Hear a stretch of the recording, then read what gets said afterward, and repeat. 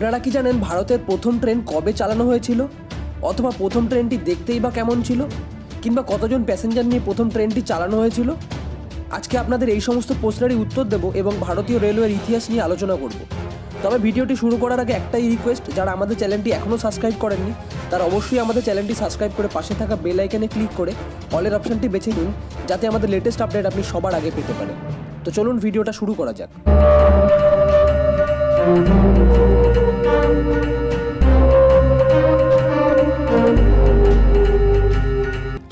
ভারতীয় রেলের ইতিহাস দেড়শো বছরেরও বেশি পুরনো।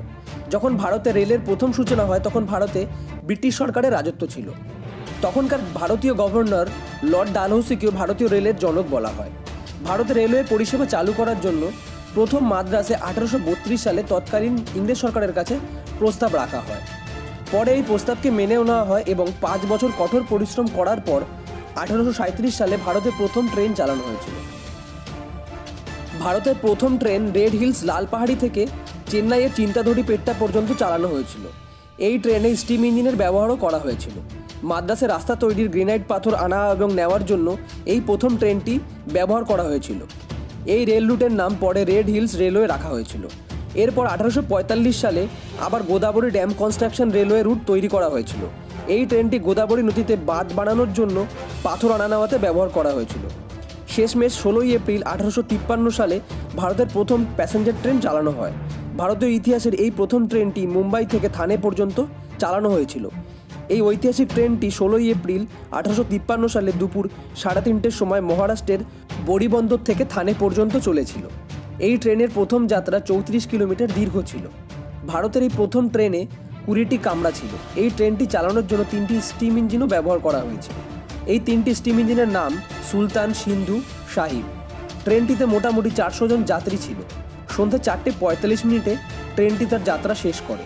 এই যাত্রাপথ অনেকটাই ছোট ছিল, কিন্তু এখান থেকেই ভারতীয় রেলের নতুন সূচনা করা হয়। মহারাষ্ট্রের বড়িবন্দর, যেখান থেকে এই ট্রেনটি চালানো হয়েছিল, সেটি এখন আমরা ছত্রপতি শিবাজি টার্মিনাল নামে জেনে থাকি।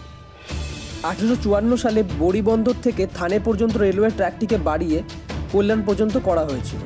এভাবে ভারতের রেল চলার সূচনা হয়। এই সময় বিভিন্ন আলাদা আলাদা কোম্পানি ভারতের বিভিন্ন জায়গায় রেল লাইন বসানোর কাজ শুরু করে দেয়।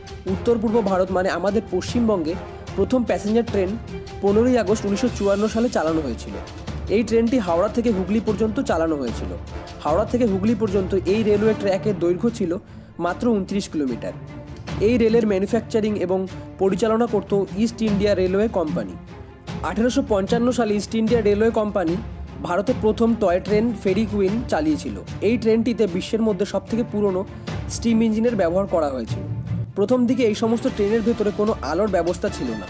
মোটামুটি পঞ্চাশ বছর এই সমস্ত ট্রেনগুলি আলো ছাড়াই চলত। অন্ধকারের মধ্যে ট্রেনের ভিতরে অপরাধমূলক ঘটনা অনেক বেশি হতে শুরু করে দিয়েছিল। এই অপরাধমূলক ঘটনা থেকে বাঁচার জন্য ট্রেনের ভিতরে ইলেকট্রিক বাল্ব লাগানো শুরু হয়। আঠেরোশো সাতানব্বই সালে ট্রেন বানানোর অনেক কোম্পানি ট্রেনের আধুনিকীকরণ করতে শুরু করে এবং ট্রেনের মধ্যে ইলেকট্রিক বাল্ব এবং টয়লেটের ব্যবস্থা করে। এখান থেকে ট্রেনের মধ্যে ইলেকট্রিক বাল্ব লাগানোর সূচনা হয়।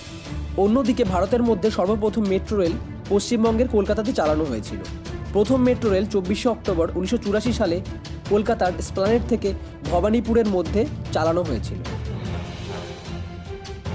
সো ফ্রেন্ডস আজকের ভিডিও এই পর্যন্ত ভিডিওটি ভালো লাগলে অবশ্যই একটি লাইক করবেন এবং কমেন্ট করতে ভুলবেন না আর যারা আমাদের চ্যানেলটি এখনও সাবস্ক্রাইব করেনি, তারা অবশ্যই আমাদের চ্যানেলটি সাবস্ক্রাইব করে পাশে থাকা বেল আইকনে ক্লিক করে অলের অপশানটি বেছে নিন, যাতে আমাদের লেটেস্ট আপডেট আপনি সবার আগে পেতে পারেন